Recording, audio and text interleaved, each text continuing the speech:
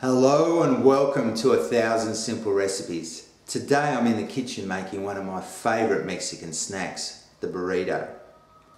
And in this video I will do a bean version, but you can be really creative with this and use some roasted or barbecued meats, rice, salads, roasted peppers and onions. And with a guacamole and a tomato salsa, this is a really flavoursome snack.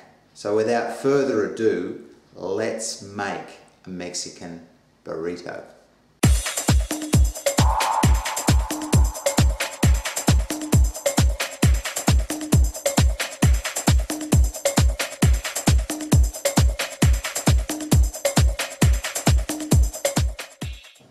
Here's our ingredients for our burrito and I've got some guacamole here which I've done in another video so check the link and also I've done a tortilla or flatbread also check check that out in another link. But you can buy those things in the supermarket if you don't have the time. I've got some tomato paste, some grated cheddar cheese, some refried beans. I've got some cocoa powder, cumin powder, some dried oregano, some fresh mint, lime juice. I've got some red onion and some garlic. I've got some chopped tomato, some coriander and some fresh chilies.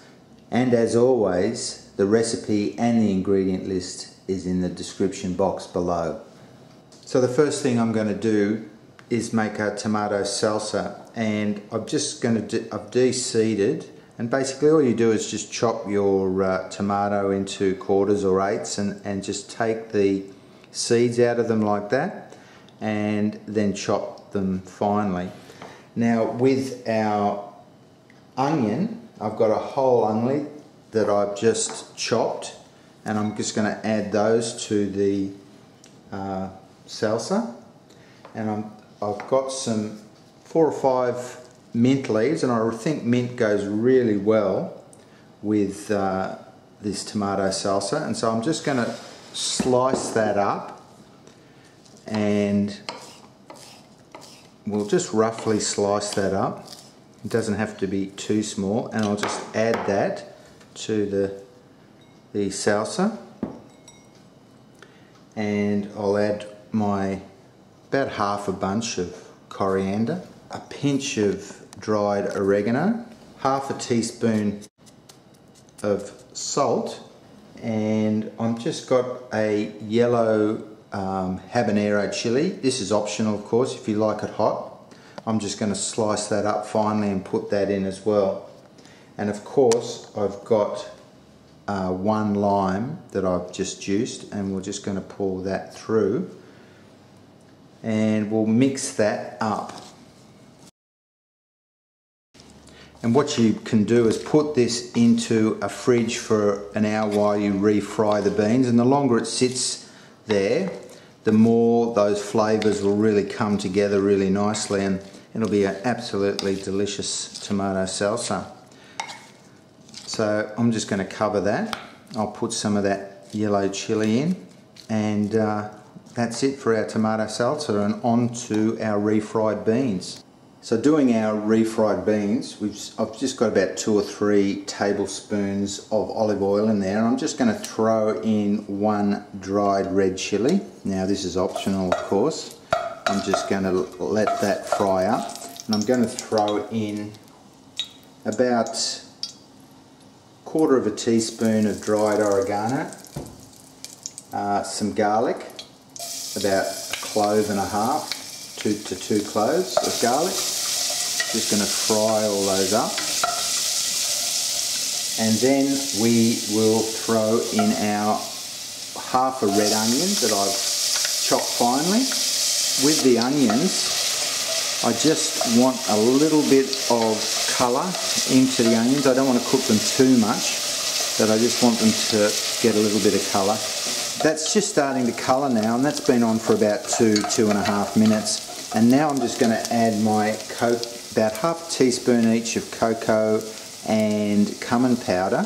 And that's going to give it a nice, the beans, the refried beans, a really nice rich taste. And we're just going to fry those up for a few seconds. And um, I'm just going to throw in a tablespoon of tomato paste now. I'm just going to fry, put that to one side and fry that to get the tartness out of the tomatoes. And and that that's um, maybe probably 15 seconds. I'll fry that up for and then add it to the rest of the mix it through the onions and the spices. So we basically what we're trying to do is just build layers into the refried beans so that's about enough and I'm just going to mix those all through now.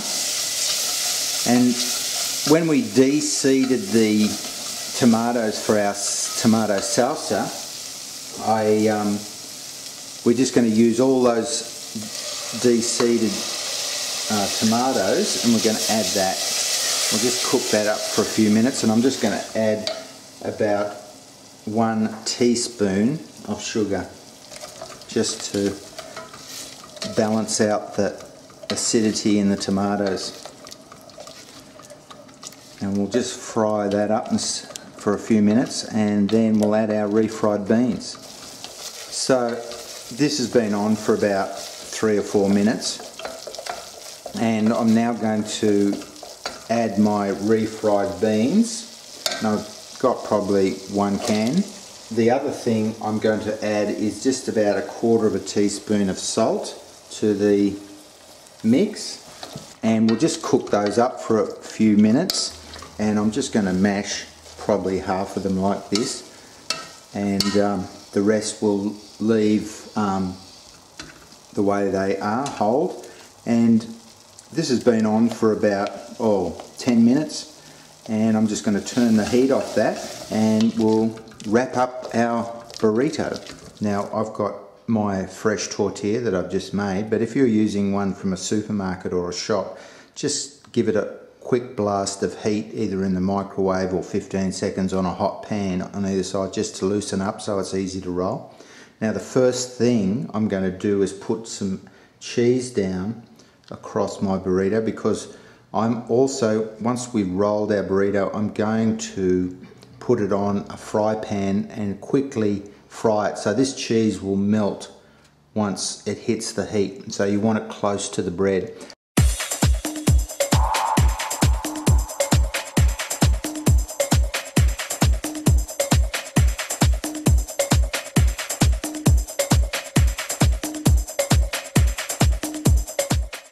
And I'll just put that into the uh, onto the fry pan. So and that will also help the flatbread hold together when you're eating it.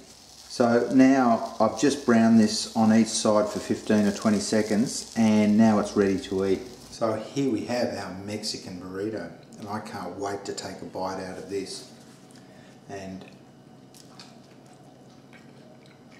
mmm, I tell you, with the salsa, the melted cheese and the refried beans, that is a great combo.